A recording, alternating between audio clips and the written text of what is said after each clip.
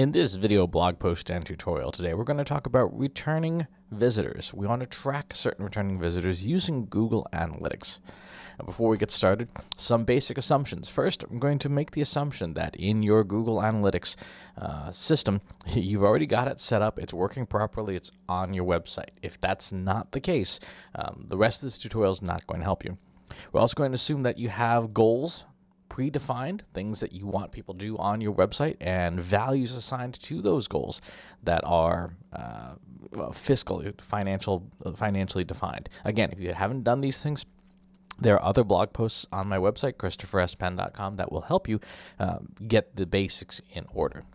So let's talk about the situation. We have places on our website where we know high value people go, people who could be customers, people who exhibit the buying patterns of customers, or maybe even people who are customers and are and are coming back. They're they're back on the website for other reasons. Maybe they read our blog every day. Maybe they uh, consume other content. But we know that they are high value, and we know that we want them back again. Now, in Google Analytics, those people would be called returning visitors because we can track to see how many people come uh, back to the website. So that's who we're after. Why are we talking about this? Well, returning visitors from a conceptual perspective, don't need to be sold on our value. When a new visitor comes to our website, they they kind of get to know us. They may have heard of us, us, through social media, through advertising, or through some other form, and they've they've come onto our website. They're like looking around the place. Eh, do I really want to hang out here? Do I want to invest my time, my attention here? Returning visitors, we don't have that problem. When they're back, they're back because we've established a relationship from a previous interaction. So we don't need to be sold on our value. So automatically, we have an audience that is more receptive to what we have to offer.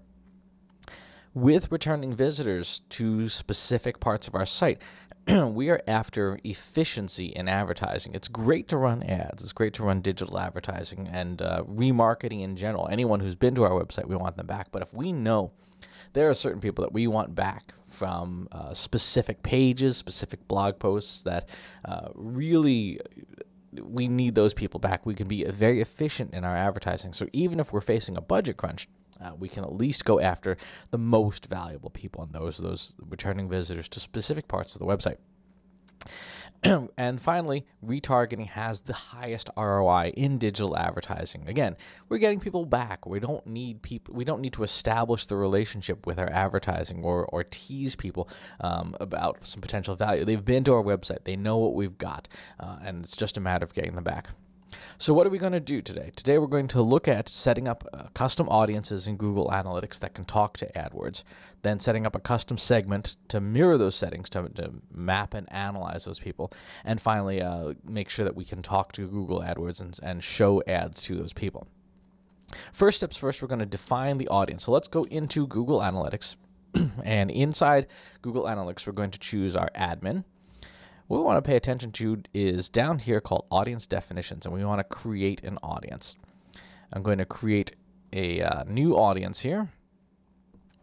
And let's say I want returning users because we know these people have come back, and I want to go after people who are have been back in the last 90 days. Uh, you can go, do up to uh, a year. Let's go. In fact, let's go a year. Let's that that could that could be fun. um, Next, we don't just want any returning visitors. So let's click on this pencil icon. We want to people, see people who are returning visitors and who have been to a very specific part of our website. So if I go to my website and I go to my public speaking page, this is a page that for me is important because it helps establish that uh, you know they, people are on this page for a reason. They, they want to book me to speak, and so I want to take this part of the URL, the public speaking. I want to have page.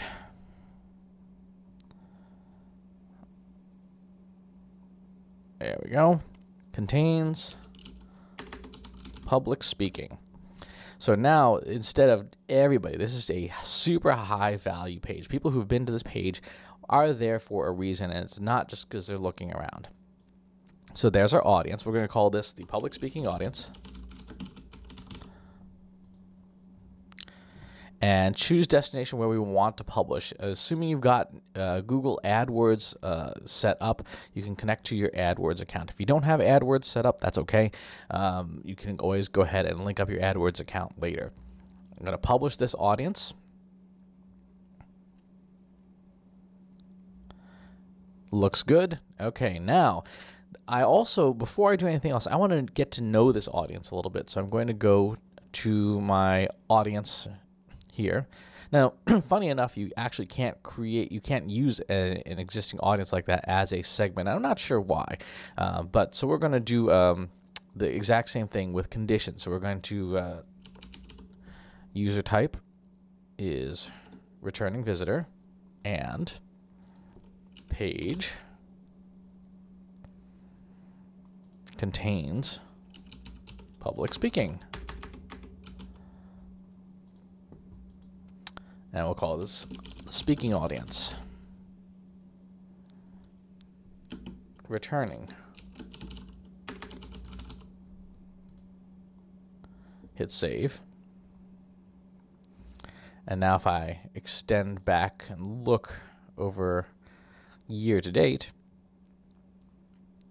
I now get a sense of just how many or few people we're talking about. If we move to a weekly view here, that's better. So now I've got uh, about 87 people who, in the year to date, have been to that public speaking page as a returning visitor. So not new, but have come back over and over and over again, at least twice. Uh, granted, that is not a lot of people, but it's worth at least being able to see them. So now let's look at them and do a little bit of user exploration. Uh, let's actually do user flow.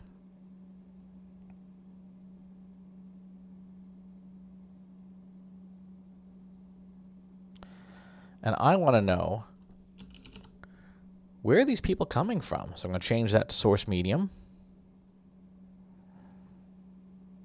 Google Organic, direct marketing over coffee, my newsletter, good. So those give me some insight as to where this highly valuable audience is coming from. Where do they go? They go to the public speaking page. A lot of them drop off, almost 90% drop off. So I want to highlight traffic through here. And where else do they go? They go to look at buying a book, why they're on my website, et cetera, et cetera. And then they start hitting the blog. So that's useful information that gives me a sense of who these people are. It also gives me a sense of what pages I might want to work on improving. This page, sure, for sure, I want to reduce the drop offs on that page. I want to at least get people to fill out a form and not just vanish. That's what that red uh, indicator is right there. I also want to get more people to this page. So my next step, if we go back to our plan, is we've created the segment, we've matched the settings, we run some analysis, the path analysis uh, here, and now we want to run some ads. So my next step would be to fire up Google AdWords and maybe run some ads specifically to this audience. It's not a lot. You can see it's a, uh, 89 people and I want to show ads reminding people to book me to speak at their events again, because we're advertising to basically 89 people, it's not going to be hugely expensive. I can probably do a really good job on just a few dollars a day, uh, maybe even three or four dollars a day, uh, and so I would be able to to capture value. Now, if I wanted to do additional audiences, I certainly could go back into uh, admin here, go back into our audiences. You'll see the uh, the memberships and the advertising audiences are in AdWords. I could create ones for different books or people who did not buy uh, something but uh, showed up um, in in e-commerce things. So we've got a lot of different ways to slice and dice our audiences to get to know them and then be able to show ads to them. So to recap, we have figured out how to define our audiences and create segments understand those audiences and how they behave and what pages I might need to affect on my website in order to improve them, and then run uh, Google AdWords ads to them. The reason we're doing this, efficiency. It's all about efficiency. We know that remarketing is the highest ROI, and if we can target the people who we don't need to resell on our value, they're returning visitors, that's terrific. That means that we are likely to almost help them pick up where they left off because we want these people back again. We want these people who have been high value places on our website to come back to us and to eventually buy something from us. And again, the most interested people in us, these are the folks uh, who are most likely to, to buy something as opposed to some random stranger on the internet. So, in short, that is how we track returning visitors to certain parts of our website with Google Analytics. It's free to everyone to do this whole setup. AdWords can be as little or as much money as you want to spend. And it's a great way to recoup value and remarket to the people who matter to us most.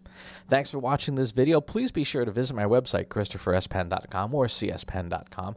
And if you have a chance while you're on the website, please do uh, feel free to hire me to speak. But the one thing I do want to make sure that you know how to do is make sure that you sign up for the newsletter. Uh, the newsletter is one of the uh, most useful things I do. It's a weekly newsletter. I send it out every Sunday night slash Monday morning, and you get a chance to catch up on all the week's news. I don't sell your address, but of course you will get uh, marketing materials about my stuff uh, from me. So again, thank you for watching.